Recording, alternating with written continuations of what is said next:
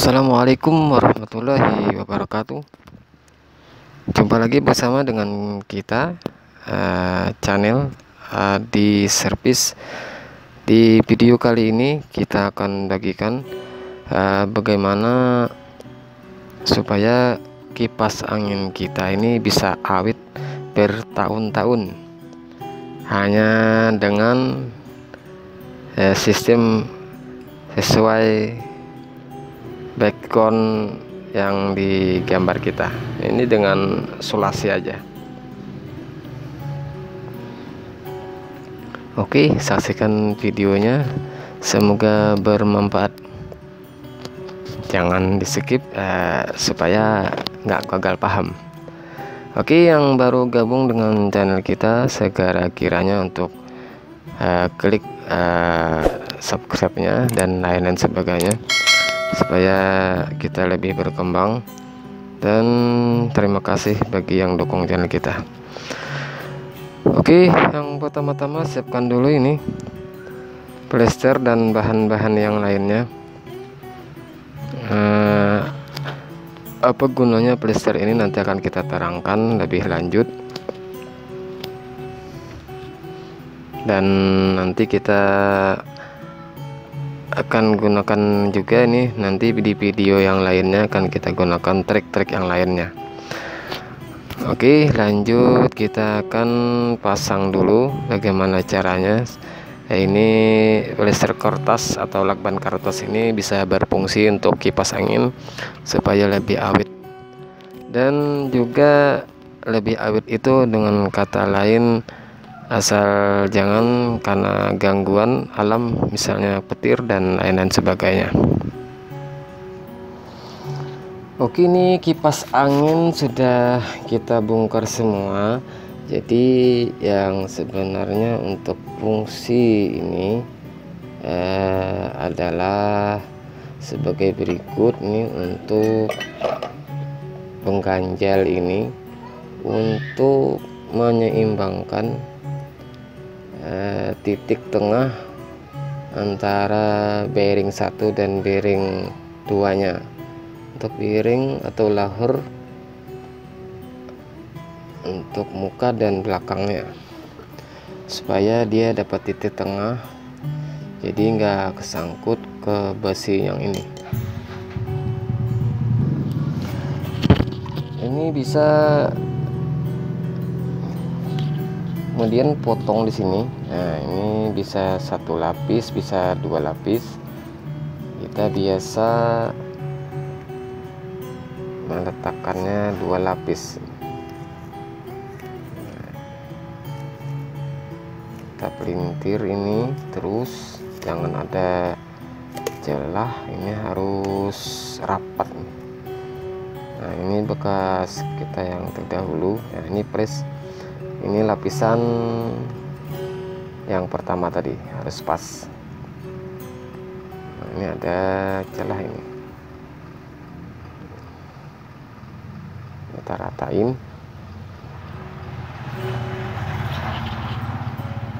Ya seperti ini bentuknya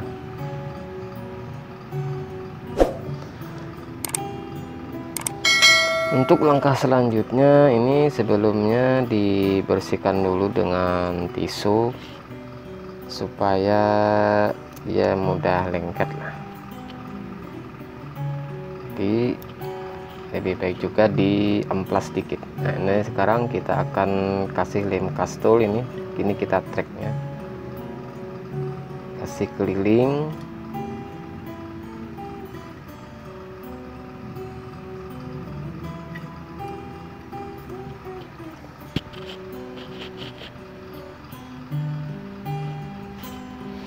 kemudian yang satunya juga kita kasih lem juga.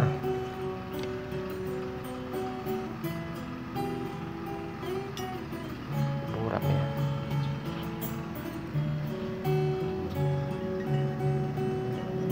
Kasih merata biar dia kuat lengketnya.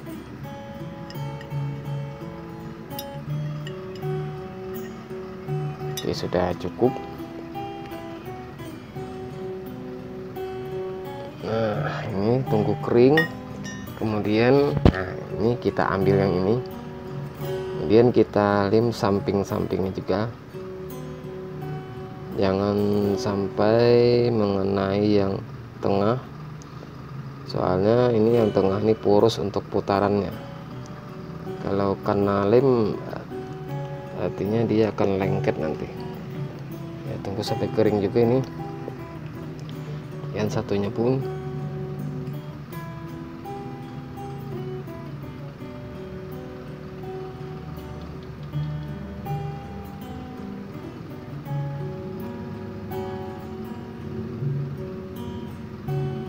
Oke sudah. Tunggu sampai benar-benar kering.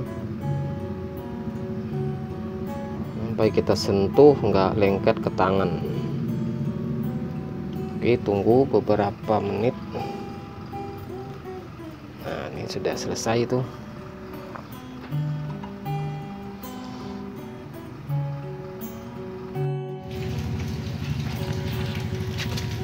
setelah kering eh, ini kita akan lepaskan dulu bagian posisinya untuk mencari titik tengah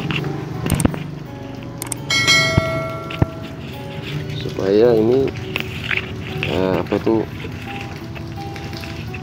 lengketnya lebih lengket dan nanti putarannya nggak nyangkut di uh, besi apa nih besi. Besi kipas ini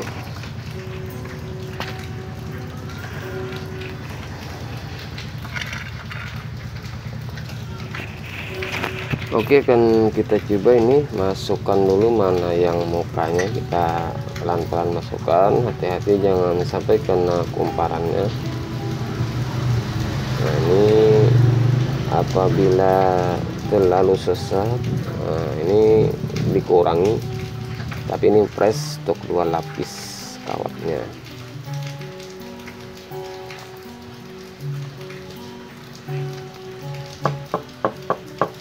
Tekan-tekan dikit.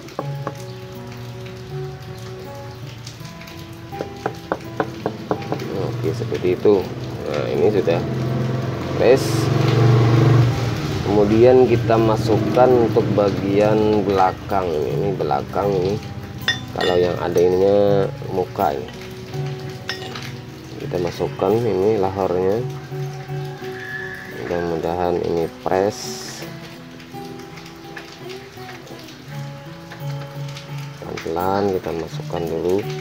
Tapi sebaiknya ini kita undur dulu ke belakang ini bagian atas yang ada lubangnya. Kemudian kita masukkan di empat lubangnya harus pas. Nah ini sudah pas ini. Nah, kita pukul-pukul dulu dikit nih. Biar dia kuat rasoknya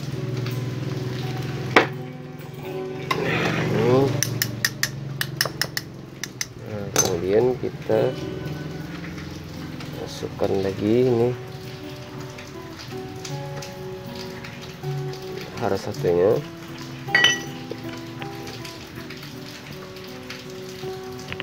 Untuk balik ini. Seperti ini. Ini sudah ada kita kasih tanda. Ini harus benar-benar connect benar-benar pas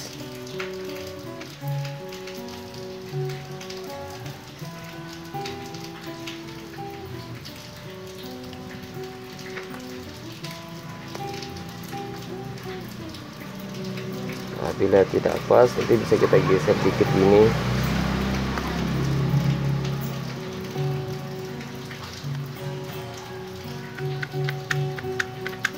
Kita goyang-goyangkan biar lemnya lengket sama laharnya. Ini enggak posisi tengah kita tengahkan dikit. Nah, seperti itu.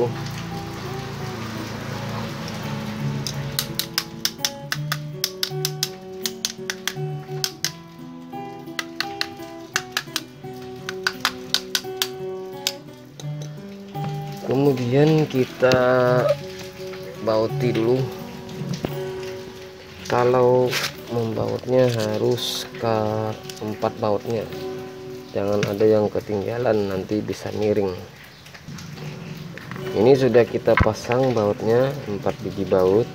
Kemudian kita lihat posisinya ini harus ya kurang lebih pas di tengah. Nah ini sudah kita geser-geser lagi.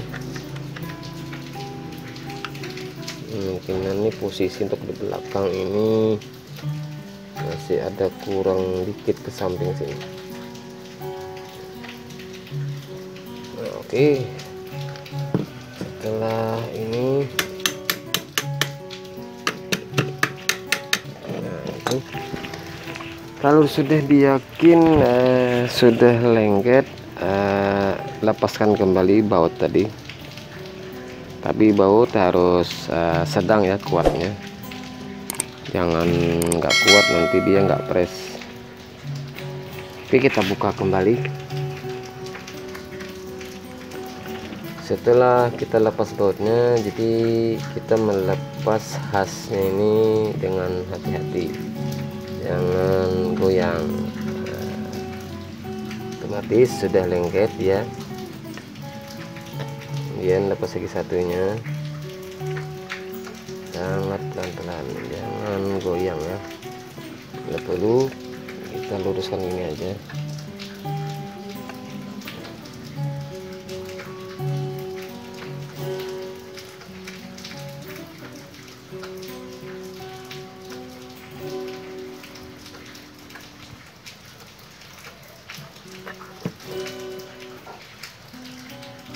Oke sudah lengket keduanya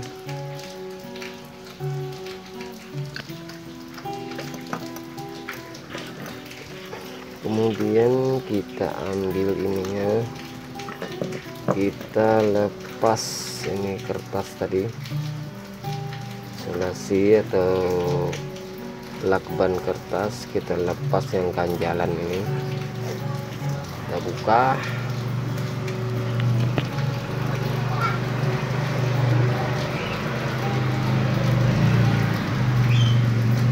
Kemudian kita pasang lagi ya memang ini agak repot pasang bolak-balik bolak-balik dan pastikan tidak ada ini harus uh, semua harus masuk semua. Dan kita putar nih nah ini artinya sudah ringan. Dan bisa kita kuatkan kembali lem kelahar tadi kalau untuk lem penambahnya ini terserah anda. Eh, bisa lem besi bisa juga lem Altico kita pakai lem Altico yang dicampur sama tisu atau bisa dengan kampas rokok. Ini sudah kita lem pakai lem Altico atau lem Korea. Itu sampingnya kita anggaplah kiri kanan kita pakai kapas ampas rokok lah. Ampas rokok dekatkan. Nah seperti ini. Ini pun sudah kuat ini. Kalau lem besi ya lebih oke okay juga. Oke tinggal kita keringkan dan ini kita sambil-sambil putar uh, dan kita masukkan lagi ke dalam mesinnya setelah kering. Oke selesai sudah ini hmm, treknya. Coba kita putar ini sedikit aja. Nah, ini sudah ringan sekali nih nah iya. Oke mungkin sampai di sini aja videonya. Semoga bermanfaat dan bisa untuk memberi kepada yang lain. Oke sekian terima kasih. Kurang lebihnya kita itulah. Oke jumpa lagi dengan video-video kita selanjutnya jangan lupa dukungan channel kita biar lebih berkembang dan kita lebih semangat untuk upload video-video kita. Assalamualaikum warahmatullahi wabarakatuh